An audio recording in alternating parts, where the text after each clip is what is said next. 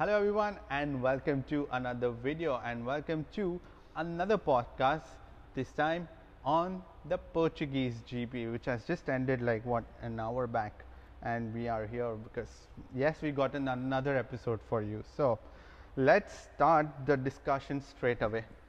Let's start it. So Mercedes. 92 wins for Hamilton. They thought it couldn't be done, and That's- I was watching the Sky News broadcast of it, and not Sky News, sorry, the Sky broadcast version Yeah. of it, and it's what one of the commentators said. We never thought we'd see this in our lifetime. Exactly. We thought we'd see this in a few years' time. Amazing job with Hamilton. I'm not his biggest fan, but an incredible effort he's done. 92 wins is no easy. and he's not done yet so it's it's still commendable to what extent he'll be extending his lead i don't know if ever any driver is going to be able to match it because he's in a league of his own let's be clear about that because I, I, I there is Bottas but then do you see what happened to Bottas today right he loses the confidence midway in the race and you can see it where if Hamilton crosses him after that you can see Bottas just visually dropping behind. Today there was a problem with Bottas car also. I think they showed it in the footage, right? There Yeah, was something dangling. You saw on the the the right, not the right rear, but you could see it just where the air scoop was. There was, I couldn't really tell what it was. It kind of looked like the decal was peeling off, Yeah. but then it looked substantially larger. Where Yeah. that where that could have come from, we don't know. And could it have been a part of the car? exactly, which was affecting his performance. The the strangest thing for me, and I understand team orders are a thing. I don't like the team orders that Mercedes have. Yes, I get it. Hamilton is the number one driver. yeah, But Bottas in his own right is a good driver. He should also challenge Lewis Hamilton. Yeah. Because what at the moment what I'm seeing is Lewis Hamilton is kind of just escaping up the road. Mercedes like, oh, he's the golden child. We'll let Yeah. him do what he wants. Bottas wants to do something. Oh, can I do something? No. no. And we saw that today with the tyre strategy. He wanted to go for, I think it was the reds, right? Yeah, red the soft ones, yes. So, sorry, I don't know the difference. between- Yeah. I just got back into F1. So he wanted to go for the Reds, but for some reason the, the not the Mercedes team put whites on, and I saw it as well, and I picked it up. Uh, as a commentator, you spot these kind of things. Yeah. You spot the smallest You of know details. very well, yeah. And I think Brundle summed it up the best. Bottas was probably confused as well when he went out of the pit lane and went, "Hang on a sec, those are white." because he was checking red." his tires. Visually, he was checking his tires what they had put because he had no idea that they had put hards on his car. Now, apparently, there is a rule which uh, which is within the Mercedes, which says that if the driver who's in the lead, if he decides to put the hards or mediums or soft, the driver next, the his teammate has to put the same tires. I mean, that's a very, very ridiculous strategy that they have. Like, considering it's a Mercedes, like, they have to have like two drivers. But I think they are somewhere controlling who races who. so- Essentially, and I get it. We're the season's kind of jumbled up at the moment. We've still got a couple of races left, yeah. But we're not challenging for a championship at the moment, are we? Now we're not getting into the final four races where there's like uh, 80 points on offer, or, Yeah. or however many points it is. Not down to the wire, where you know, the, Exactly. like two, five, seven, ten points are going to be deciding everyone. But it's a clear margin right now between Hamilton and Bottas now. So I don't think Bottas stands a chance also to, unless Hamilton just doesn't race at all in the next four races. That's when I think he's got a chance to clinch this championship. But Yeah, we are and already, then yeah. maybe you could call it karma. Cramps with seven laps to go. Oh yeah, cramps, and he was, uh, and weirdly, two laps later he was the fastest. He had pumped in a fastest lap. After that, Interesting. So, So- last last time in the Eifel Grand Prix, it was Boo Boo on his on Grosjean's finger. Yeah. This time it was Lewis Hamilton having a cramp. I wonder what's going to happen in the. Uh, it's not Istanbul, is it? The next one. It's um, I have to check. because I'm so excited. To be honest, I'm so excited for Istanbul because I love Istanbul, and I think I actually stopped watching Formula One when they removed it from the calendar. That's the last Yeah. time I remember it. Love it, and I heard today that it's not the next round; it's the round afterwards, and I'm very, very excited for that. yeah, it's going to be pretty epic that race. The, and I think it's the next weekend only the race now again. So yeah, and I think they should keep this track also because this was pretty exciting that race and the hills and the drops.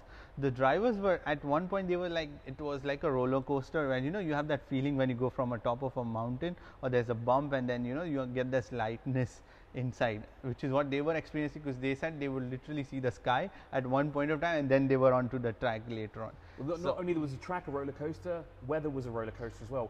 There were always constant, you know, oh, is it going to rain? The drivers were, uh, you know, looking up at the sky, the sky themselves, looking at the clouds, going, oh, is it going to rain? And Yeah. the engineers like, no, focus on the road. And then, you know, it kind of played on in the emotions as well as a viewer because you're thinking, oh, when is it going to start? Because obviously rain brings excitement. You know, you've got fast pit stops, you've got people uh, spinning off, and you you see whole different strategies play out. Then it just didn't happen. There were light showers, like for example, I think it was the last ten laps or so. Yeah. Light showers in the pit lane, and then Max Verstappen came across, uh, came onto the radio and said something very strange. He said the wind was gusty and Yeah, the wind gusty. was picking up. Yeah. So- and then another, and then a few other drivers came in as well. I think it was uh, George Russell. Russell he said, said the that. same thing. Yeah. There's a lot of wind and I'm being pushed around a lot. So Yeah. it was not just a roller coaster on track; it was a roller coaster in the atmosphere as well because Yeah. we had wind, rain. so much was going on. And especially the start of it there were a few drizzles which is what made the start very interesting. I mean so much was going on. So we'll come to that also. But the, yeah with the mercedes i think they have a clear let's be honest now they have a clear one two choice in their paddock right now. Who's the number one driver and the number two driver now Which is a shame. Um, Shame, yeah. Like I said, I'm not a big fan of team orders. I've been in mo- I've been in the motorsport realms for six years. I've seen it myself happen, and you just think to yourself, if you've got two competitive drivers, it doesn't quite make sense. exactly If yeah. you've got one, I understand, but two, come on, and especially this early on in the championship, they should let Bottas, you know, Yeah, he should be free to race because you can obviously see there is something weighing him down. Very clear. Let's move on to- to the next driver that is being weighed down again is Ferrari's Sebastian Vettel. It's just so painful to see him, you know, and just in today's race there was no mention of him anywhere, uh, literally till the end of race where we then saw him because he was climbing up the order slowly from 15 to 10th and he just finished his race 10th but shame one point but it's just so weird to see two drivers, same drivers in a team perform so differently in a car. Like Leclerc is almost fourth, and I mean, no, I mean, Leclerc drives the wheels of that car, of course, but I don't understand what is going on between these I just these two cars. Same team. Vettel is just thinking now that he's moving on to Aston Martin. He's not getting in the car Yeah. he wants, and you can kind of see that he's no longer the preferred driver. I don't want to say he's on the shelf because he certainly isn't. He's Yeah. still he's He's still a very young. You know, if you look at Raikkonen, I had no clue that he's 40 at some point this year. I didn't realize that at all. Yeah, and it doesn't look like that. Yeah, it doesn't. It doesn't seem Vettel has lost talent. I just don't think he has the competitive car. And now that he's moving on to Aston Martin, I don't want to say that he's not doing a good job, because it might not just be, you know, it's not his fault. Obviously, Yeah. it could be the car, but we don't know. But like you said, it was very strange.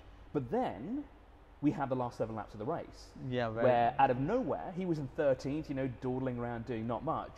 And out of nowhere, he started overtaking people. And Yeah. the battle with Ricciardo, and like you said, when they come over that crest on the hill, it was amazing. somewhere I read that you know they have already started developing their cars for 22 itself. So they've started removing because from 22 they won't be having any designs or whatever fins that they put on the barge boards. That is not going to happen. So everything is going to be plain. So they've already t- started testing that, and which is why I think there was a performance improvement for Leclerc also, which is what we saw. But yeah, great performance from him also. But shame, yeah, Vettel should be somewhere in the front and not battling somewhere in the back We'll behind. We'll, see what he's like in Racing Point. So, talking about Racing Point, let's touch up on them. Yeah, I tuned in just when Stroll had that racing incident, Incident. which I don't agree with the stewards there. He was clearly faster. Okay, he probably used the wrong way. He shouldn't have gone around the outside to go around Norris. yeah, So that's where I can kind of see that it's like a 50 50. It's a racing incident and it's also, you know, not the right place to overtake. plus the track was actually pretty narrow from where he was trying to and you know there should be some amount of you know relax they should be relaxed about you know penalizing him at that point because he had nowhere to go he couldn't go into the gravel trap or you know just run off but at least they tried and Lando Norris had a probably a slow puncher because of that incident who knows but eventually Stroll just retired because he also had a penalty and then Otmar on the ra- on the radio on television said that you know the damage on the car was substantial. So they had to retire the car. So that was pretty much done. But then Perez even he was caught out in the first lap incident you know, where everyone is doing everywhere you know. And then he went back almost when dropped to 20th He went for his tire change. He changed his tire on the first lap itself, put on the mediums, went on a stint, and he continued till what lap 42, I guess. Yeah. So he was on lap 42, 46, and then he put on the softs. But by then he was like what P6 or P5. Monster of a drive from Perez. I want to say he's probably the driver of the day for He me. is, yeah. He, like I said, agree. He, he got, you know, caught up in that kerfuffle at the beginning, dropped back, and then he went back forward again. You know, it was great to see what Perez, and he was also one of those drivers that was uh, in one of those battles as well, wasn't he? Yeah. Um, further along, was it was it Gasly that who's in? So he was with? Gasly and Sainz, both of them. In the end, yeah, because his tires were just going off, going off. So I think he went back, but he finished, I think, P seventh. I'm sorry, we don't have the exact uh, finishing uh, score, the the card right now because we just immediately we got down and started making this video. So yeah, so I think he's P7 and Gasly was P five, Sainz was P six but still a commendable effort and he's a driver who's actually fighting for his place in F1 right now because obviously he's not going to be signed again next year with Racing Point. Well, see, well, Perez has the upper hand here because he's a pay-to-play driver. yeah, I say that, but he isn't. He has big. He has backing from three very big companies Yeah.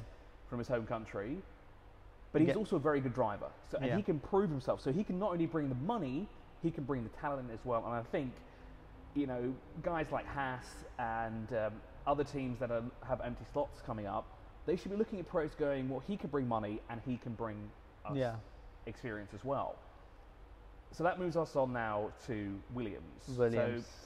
Because there are links that probably Russell is going to be axed and Perez is probably ending up there with all of his funds and all the kitty into that team because Latifi obviously gets in a lot of money already for the team. So and Williams is a team that is struggling with funds, so they obviously want as much as money that they can get for 21 and also through to 22.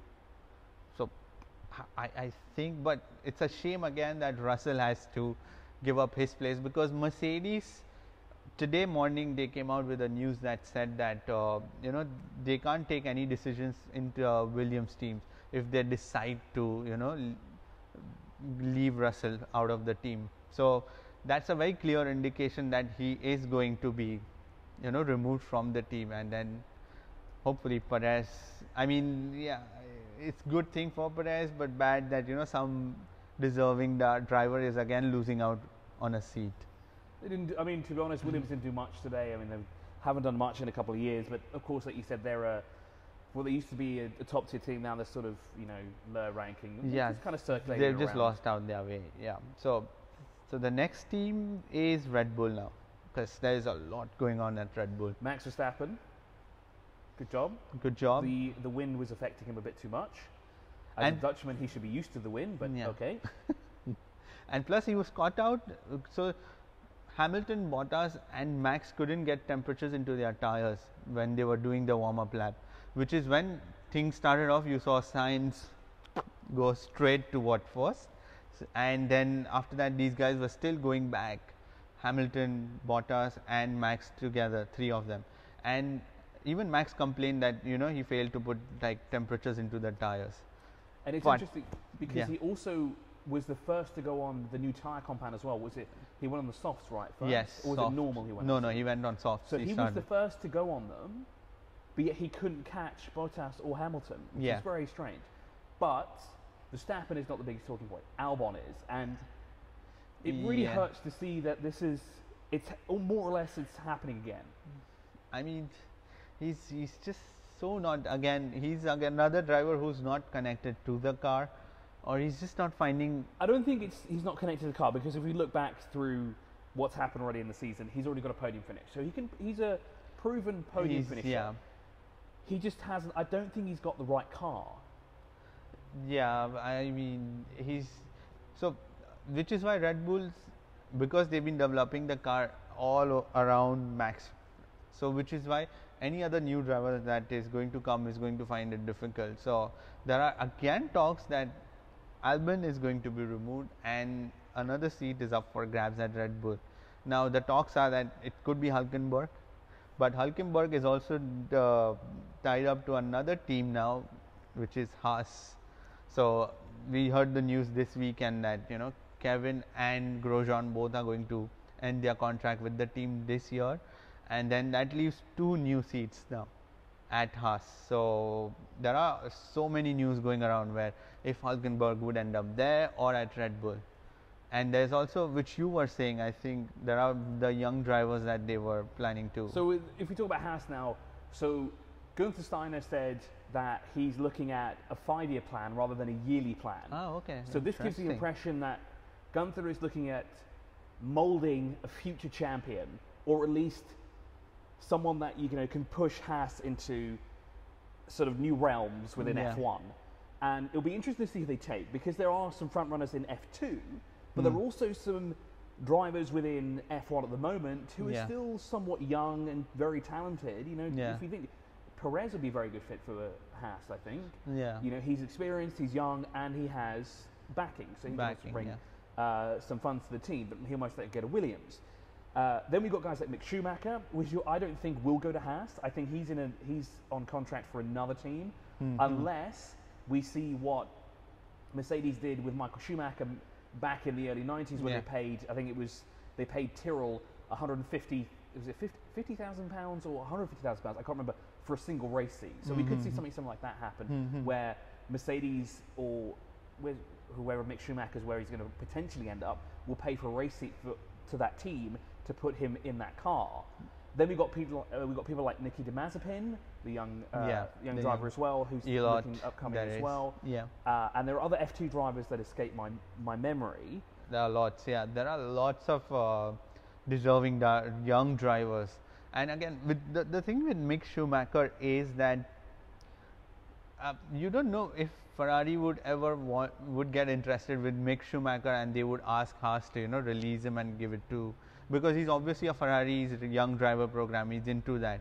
So Ferrari would obviously want him someday to drive for them. And if Haas is looking for a five-year plan, which is why they would want some driver who's like a long-term, five-year, they would have, you know, with them, and they would develop the car together.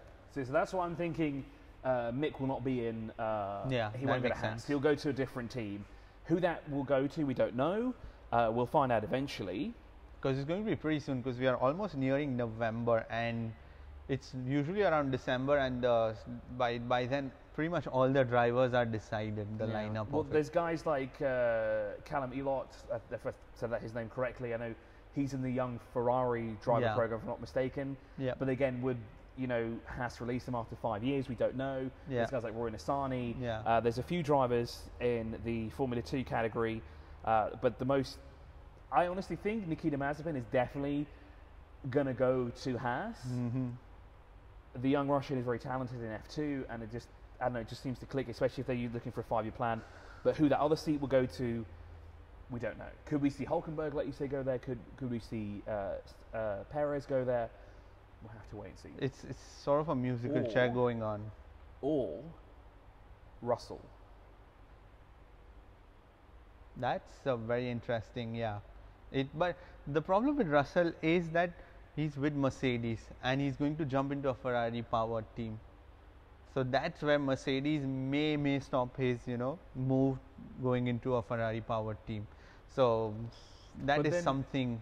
Going back to what you said about Mercedes' announcement this morning or yesterday, is that they have no say in Williams. Right. Yeah. So uh, would they control something like that? Because in all fairness, they're giving up uh, George Russell and keeping him Williams to sort of mold him into a future champion. yeah. So could he turn around and go, well, look, you know, you did this to me, so I'm going to go. Haas is offering me a position. Yeah, because he can't So- just wait for a year Exactly. again. Because it's it looks that Bottas may have another year, and then from 22 probably Russell may end up at Mercedes. Who knows? 22 is a very different game again because there are new cars coming up. But let's go. Let's go quickly back to Red Bull. So Alexander Albon, and we'll throw AlphaTauri in here as well because they are the, you know, the The feeder team, yeah.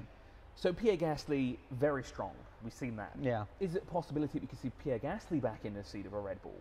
Um, I I, I don't think. I mean, let us know in the comment section because would is it the right decision to get Gasly again into Red Bull? Because they pretty much destroyed his career when they got him into that seat. I mean, you know what happened last year. He had a meltdown. Six months down the line, they changed him and switched it to again the the sister team, which is Alpha Tauri. And yeah, so I, I, I don't think even Gasly would take up that seat because he, if you look right now, he's been performing phenomenal. Today's race, he went up to P6 and he's been fighting his way like right from like P10, P12, and then he went up all the way. And he's he knows that he can trust that car, he can trust that team, and the team has always been welcoming him back. You know, whenever he went back to Red Bull and came back, yet the guys were like, yeah, we still want Gasly around.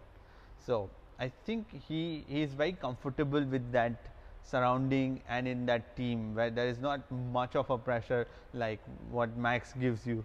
So it would be interesting to see what Red Bull do now with Alex. I mean, I don't think it would be the good thing to let Alex go because Yeah. he has proven himself, and he is sort of connected to a younger generation. Him, George Russell, and um, Yeah. the meme lord Lando Norris. Lando Norris. They, you know, they really cater towards a younger generation and bringing new fans into the championship. So I don't think it'd be a good idea to bring, uh, to take, sorry, Alex out and put a new driver in yet. Give him Yeah. some time, maybe. But then again, if they do, who are they going to promote? Because we have to think about Yuri uh, Tsunoda. I probably said that wrong, the young Japanese driver, because he's part of the Red Bull Junior program, and Yeah. he is one that a few of the other. If you watch many other YouTube Yeah, yeah. videos around, they're talking about Yuri quite a bit. Yeah, quite. It'd be interesting to see what they do though, because Yuri obviously being Japanese driver, Honda power plant, but Honda's going Yeah. because they're taking another engine. Engines. So will they still consider Yuri and put him in behind it behind the wheel of an Alpha AlphaTauri? Because Daniel Kvyat, yeah, he, and it's about time I think Kvyat had like they had a thought about that seat because he's been on forever now in that seat and then let's be honest Gasly has been on and off yet he's been on, like overperforming him in that seat when you compare the two drivers I think Gasly is the better of the two now McLaren had a very decent uh, weekend to be honest they were slow in all the practice sessions but yet during the race you saw Sainz go all the way till the first position. He continued for a good six laps and then obviously when the Mercedes and the Red Bulls were all back and heated up with their tires, they all went and overtook him and he was back then like in the P5 and P6. But Sainz is something to look forward to but then he's going to Ferrari next year. And then we have who signs his partner? Why did my brain just freeze? There we go. The meme lord himself, Lando Nimrod, Norris. Yes. The I- damage, I think that slow puncture, the carbon fiber that he ran over, Yeah, that's caused his downfall. Pretty much ruined his race Yeah, after that. Which so- is really unfortunate because it would be great to see Lando Norris Yeah. challenge as well after, like Albon in the beginning, you know, podium finishing. And that's why I believe, you know, going back to Albon, I know I shouldn't keep talking about him. They don't, they, Red Bull should not let Albon go. They Yeah. need to give him just a little bit more time. Yeah, it does need time, that's for sure. And another team, and pretty much the last team, and again another driver fighting for his seat is Ocon in Renault. Gosh, there are so many drivers this year round. They've been like going on and off, and Ocon has just returned to Formula One in the Renault. Again, he was a Mercedes reserve driver last year. So yeah, if you think of that, even Russell stands a chance to you know join some other team not the a non-Mercedes team. Because uh, Ocon joined Renault and then yeah he's also the thing is with these drivers is that they have other drivers in their team like Ricciardo who are performing and they have been in the team. So they know the car and they always outperform them so you really don't stand a chance that way in terms of comparison because they've only given him like what a year not even a year yet So oddly enough, talking about uh, the silly season, it's a bit late for a silly season, I think, in October, uh, but it's still a silly season because this, uh, you know, Lots the year on. 2020 has been completely bananas. Oof, yeah I've just found out Hamilton has not resigned his contract yet for Mercedes. He hasn't been confirmed. Oh So this is very interesting. Has Hamilton peaked his, his career in F1? Oh, oh yeah, good. Now this, I may be, you know, rambling on here. I think this could be a possibility, and I'm going into other forms of racing here, that we could see Mercedes re-enter Le Mans and bring the GT1 because who has more experience behind? Who has the most amount of experience behind that car? Who could be a championship front runner in the 24 Hours of Le Mans? Ah, Lewis Hamilton. Lewis Hamilton. Yeah. But I'm just, you know, that's just a, a crazy afterthought.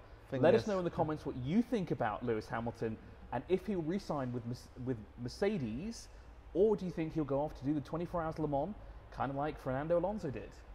Yeah, that no, I didn't think of this because because yeah, now that you think of it, because even Toto said in between that they were still in talks about their contract and they weren't finalized about. There were also talks in between that Mercedes was planning to sell a lot of their stakes in the Formula One team and then you know go into other form of racing. I think we've pretty much done with this race coverage. Next weekend we'll be back again with another podcast on the next race, which is Let's have a look what it is. yes. Let's have a look. Suspense. Drum roll, please. Wait, I don't know how to. I don't know how to figure Drum out. roll. Wait, I can't figure out the internet. Give me some time. It's going to take. It's going to be a long drum roll. The longest drum roll ever. Yeah. Uh, where is the 2020 season? Here we go. Calendar. uh, we're going to Imola. We're going to Imola. Yes. Yes. That And is- then, well, oddly enough, we only have four rounds of championship yes. left. Yeah. Uh, sorry, four countries left. Four. Five Races. races. Oh yeah, 5 got- races, four countries. We've got Imola, then we've got Istanbul Park, Ist- which is Turkey. We've got two, Two rounds Bahrain. of Bahrain, and of course, the highlight of the season, The our road. home circuit, Abu the Abu Dhabi. Dhabi Grand Prix, which, to many people, isn't the most exciting Grand Prix. I think that is pretty much it for this podcast. Give it a thumbs up if you like this one, and if you want to subscribe to my channel, then you can click here. And if you want to watch more videos, then click here. We shall see you in the next video. Signing off from here. Bye bye, and Bye. take care. And don't remember to like, share, subscribe, comment, I did that. do do whatever you want with it. I did that. bye. Get your garbage man to subscribe and your delivery guys. When you order McDonald's next time, delivery guy, do it.